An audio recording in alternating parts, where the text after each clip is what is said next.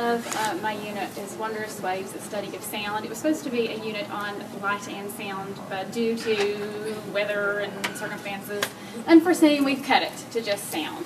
And uh, my name is Kendra Staton. I teach first grade at Southside with Kelly and Stephanie and Missy. So have the faculties in here with me. you can go ahead.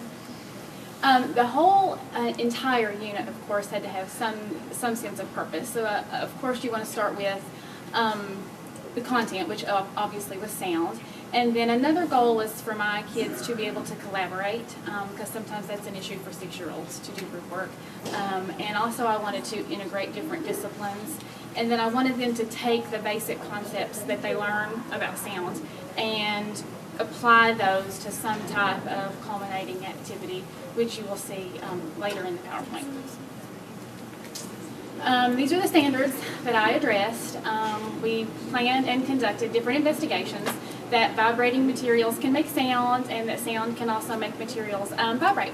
And then we used different tools and materials to design and build a device that uses sound to solve a problem to communicate over distances. And this is how we began our unit. Um, the first thing that my kids needed to know, obviously, was, well, how is sound made? So what we did was um, I just gave them rubber bands and they got with a buddy and they struck the band to see that sound actually causes visible vibrations and you wouldn't believe how amazed they were with just doing that. We also used tuning forks um, and the whole purpose of a tuning fork was for them to strike it and realize that sometimes you can't see the vibration but if you hold it to your ear, then you can you can still hear the vibration. And then we also use the tuning forks to um, watch how they moved other objects like rice, oatmeal, different things. And some objects were moved were more affected by um, the tuning fork than others, and they were pretty amazed with that too. And these are just some of the different um, things that we did. We, we learned different terms like vibration, pitch, volume, different basic sound vocabulary terms and they had to do a learning web um, of different just thoughts and things that they came up with after we had discussed and did small little investigations with those. And this is actually a sample of the lab report from the tuning fork investigation. Like, did the salt move? Yes. And they had to put a rationale for, for why they thought the salt moved. And then, like, did the water move? Um, and then, like, the rice and the oatmeal. And their favorite was the water because when you struck it and put it down in the water, it made it jump out of the bowl. So yeah. they had to record the observation and then why they thought that, that what they observed happened. Okay, we then moved on to, once we had learned some basic terminology, they got in groups of three. And they actually made little kazoos out of toilet paper rolls. And um, one person wasn't allowed to have any kind of covering. One person had a tinfoil covering, and one person had a wax paper covering on their kazoo. And then they had to take turns humming through them, and they had to rate them on a scale of one, two, or three, which one hummed the best, kind of medium hum, and then the, the one that didn't hum at all. And they had to come up with a rationale within their group why this one hummed better than that one, and which one did or did not create any, any vibration at all. And then um, we continued on to, after basic terminology, learning about all the different um, basic terminology, we went on a sound walk. And so I told them that, you know, not only is it important to know how sound is made, you need to be observant of different sounds. So we went for a sound walk, we recorded indoor sounds, and then they also got to go outside on the campus and record outdoor sounds. So they enjoyed that.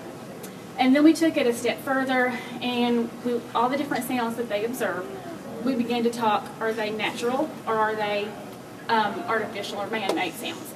So we had different magazines that parents and other teachers um, and people in the community had sent in. And so what they did was they just took a little T-chart and they had to find some examples of natural sounds in the magazines and then um, things that had man-made sounds in the magazines. This was probably next year a culminating project. This was their biggest um, undertaking.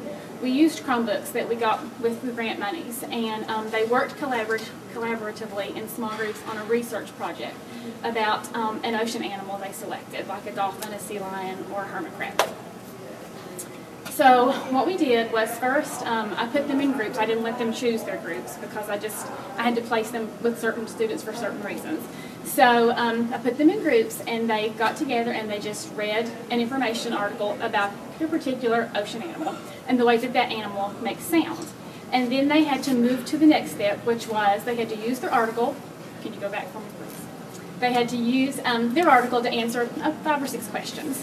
And then after they did that, it took us about a week, and they made a Google slide presentation um, for their ocean animal, and then I helped them put in um, a sound clip and also um, a picture clip.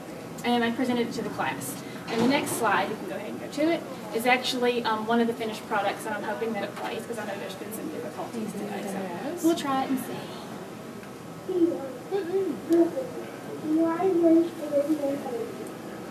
And this is actually the seal group. So.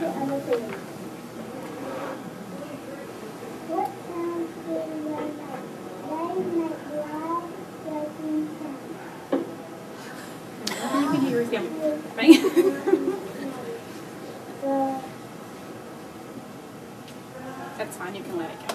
Um, so then after we um, did that project, which they were fascinated by being able to do that, they thought they were professional using the smart board and teaching each other, and they actually helped each other out if somebody didn't know a word. So surprisingly enough, they didn't fuss. It actually went rather well. we moved on then to, we learned all the vocabulary, natural, man-made, communicating sound, and how to do that over distance. So what better way to introduce it than the old-fashioned make a string telephone. So they got with a buddy and made a string telephone, and then they had to kind of do a, a summary of what they learned about the string telephone, what caused the vibrations, how could they hear in it, just different little things that they observed by talking with their buddy. This was our culminating project. We actually created um, a class orchestra.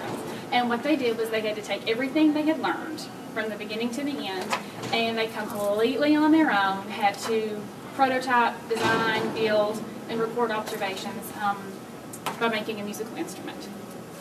So, go ahead to the next one. Um, this is just a collage of different pictures. Um, it took us about three or four days. The first day they had to get with somebody and what they wanted to do, they had to prototype it out, and then they proceeded on to gathering materials like paper towel tubes, juice boxes, just different things that we had, and they had to build it, and then they used oodles of stuff, and I do mean oodles of stuff, Yeah. um, to, to decorate it. So, and that's just some samples. And then the next few slides, I'll just let them roll. It's just all my kids. Um, I couldn't leave anybody out. So that's just the, um, the instruments they made. And they had to either make um, a string instrument, a percussion instrument, or they could make a shaker instrument. And most of them, of course, wanted to make a string instrument.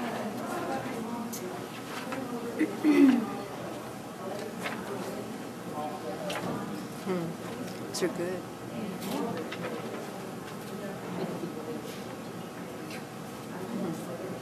Then the, after they finished, they actually had a lab report, and they had to. That was their very first page, and then they had to go on and list the materials they used, and like did it make a loud pitch or a soft pitch, about the volume. They had to every single thing they had learned about sound. They had to complete it in their little little musical instrument journal.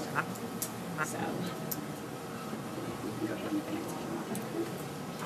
And then, um, along with my other first grade teachers, we are taking all of your students to the East Kentucky Science Center on um, May the 8th, and they will participate in science and engineering activities there. And thanks for the opportunity. That's it.